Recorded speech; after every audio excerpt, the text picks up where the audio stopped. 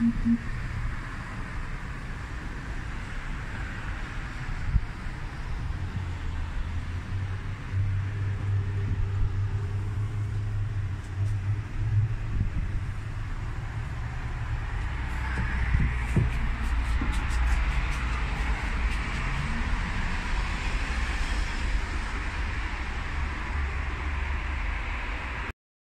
günler arkadaşlar.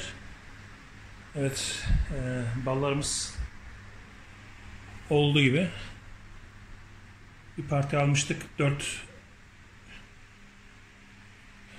petekten. Şimdi bugün e, diğer e, kaç petekmiş bakayım. 1, 2, 3, 4, 5, 6, 7 petek. petek. 7 petek de aldık. Bunları bugün değerlendireceğiz. Evet burada nasıl süzeceğimizi gösteriyoruz. Böyle bir kova yaptım. Kapaklı. Bunun ağzını bu şekilde kestim kapağının. Kapağını koydum. Bu 25 litrelik bir kova. Bunun üzerine de yine aynı bir şekilde kova altını böyle kestim. Tam bunu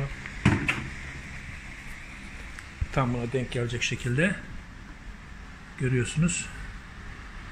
Böyle tam oturuyor. Onun üzerine bu ince eleği koyuyoruz tam bunu ağızlıyor bu deliğe. Buradan süzülen. Ondan önce evet böyle bir süzgecimiz var.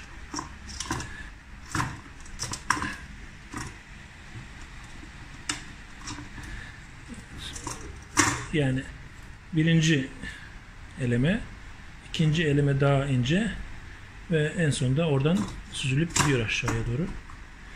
Bu şekilde bir günde ne var ne yoksa aşağı gidiyor. Bakalım. Diğer tepsilerimiz de burada. Bunun içinde ezeceğiz.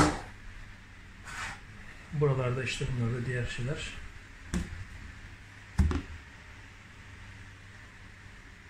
Evet arkadaşlar.